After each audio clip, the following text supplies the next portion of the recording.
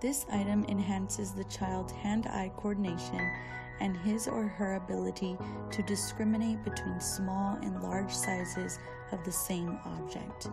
It helps develop the ability to screw and unscrew nuts onto and off bolts, as well as introducing the mathematical mind in one to one correspondence.